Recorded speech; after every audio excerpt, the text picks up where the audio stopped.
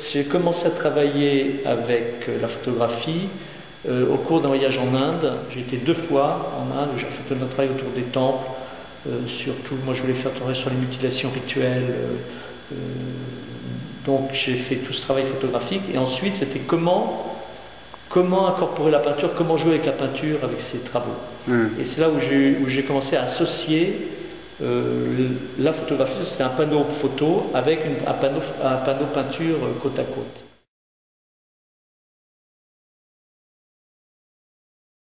Donc à ce moment-là, il y avait les deux qui, étaient, qui faisaient une seule œuvre. C'est-à-dire que c'était pas une illustration, c'était pas la photo, c'était mhm. pas une illustration de la peinture, et la peinture n'était pas une illustration de la photo.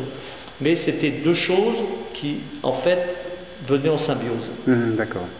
Et c'est venu progressivement. Et ça, c'est venu progressivement. Donc, j'ai fait tout un travail, euh, donc avec, au départ avec des photos, disons, de voyage, entre guillemets. Et ensuite de ces photos de, entre guillemets, de voyage, à ce moment-là, je suis passé en photo de studio avec des mannequins. Donc, je travaillais sur le corps. Alors, au début, j'ai travaillé sur le corps, et à ce moment-là, je faisais des traces le, corps, il y avait des traces peintes sur le corps, mhm. et donc qui venaient ensuite s'associer avec le panneau peinture. Mhm. Donc les traces continuaient, passaient du corps à la peinture.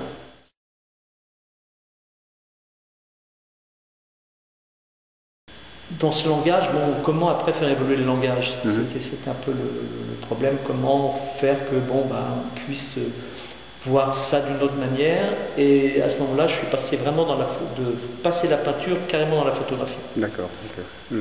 Donc après le premier travail que, j'ai fait avec ça, ça s'appelait BTK Project. C'était donc euh, un travail avec un modèle qui s'appelle Soutili, qui elle était la, la, la modèle du peintre Lucien Freud. Donc c'était toujours un rapport avec la peinture, dans le sens où hmm. c'était un modèle de peintre et de l'amener dans une histoire où il y avait un travestissement, elle était déguisée, elle était maquillée, etc. Donc c'était vraiment, il y a toujours un rapport avec la peinture, aussi bien dans les poses que dans le maquillage, que dans l'habillement et dans la mise en scène de la photographie.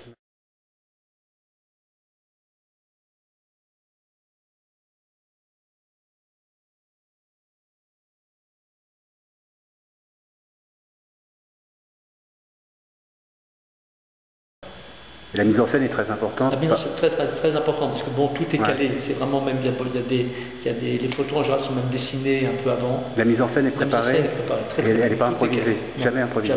D'accord. C'est hyper calé. Hmm. Parce qu'en fait, la, prise de vue, elle est, elle est plein cadre.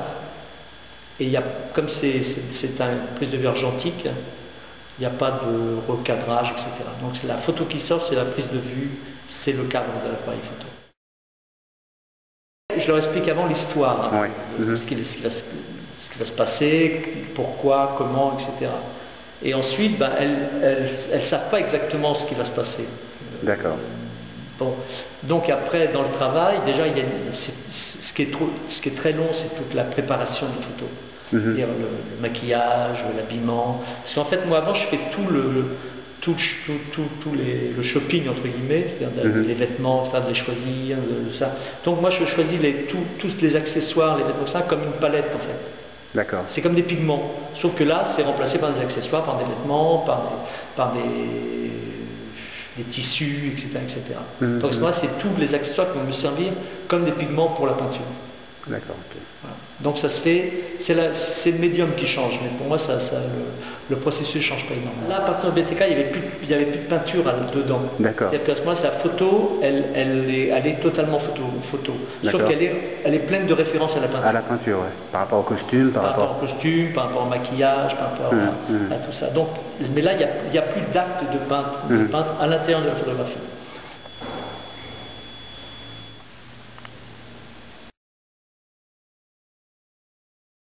dans la série avec Charlotte Rampling. Là, c'était tout un jeu par rapport au manga de bande dessinée, mhm. à la peinture japonaise, et, toute cette, ambiance aussi, euh, disons, artistique.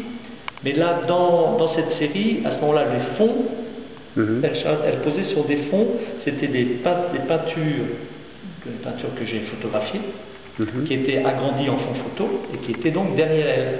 Donc en fait, elle était dans la peinture, dans, le- dans un fond peinture. D'accord. Donc là, la peinture est carrément de- à l'intérieur de la photographie.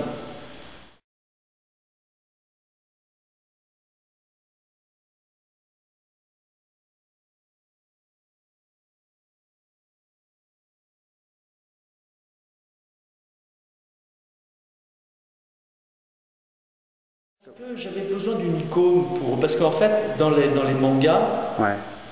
euh, c'est des filles très très très jeunes, en Mhm. général, les, les héroïnes, hein, Ouais, euh, Mhm. et, et qui sont hyper sexualisées. Donc, mais c'est hyper jeunes, elles sont, on voit- c'est vraiment des, des très très jeunes filles, Genre- hyper sexualisées, Genre Lolita. genre peu. Lolita, mais euh, espèce de bombe, Ouais, etc. Et donc ce qui m'intéressait, c'est prendre vraiment totalement le contre-pied de, de- mhm. De- cette iconographie euh, manga pour prendre une femme plutôt déjà mûre Mhm. et pour en faire, une- et qui est déjà une icône en fait. Ouais, ouais. Donc de, de l'amener, de- comme ça, de changer complètement tous les codes.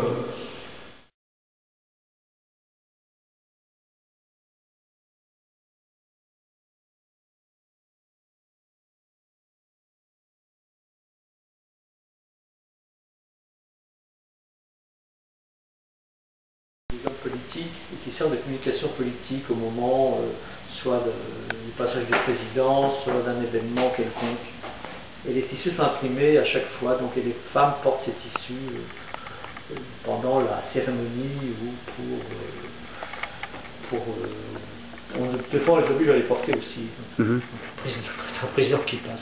Donc c'est de retrouver ces tissus, ça le plus difficile, et de façon à, retrouver, raconter toute l'histoire postcoloniale de l'Afrique, euh, francophone. Et donc, bon, donc voilà, donc là on retrouve toute cette histoire coloniale avec les différents présidents, les différents dictateurs qui se sont succédés dans cette partie de l'Afrique. Donc, euh, euh, pour moi c'était une série assez, euh, assez, euh, vraiment très très intéressante à faire euh, au niveau même euh, impact un petit peu politique entre guillemets. Je suis pas retourné en Afrique. Ça fait 11 ans que tu n'es pas retourné en Afrique. Ah, D'accord.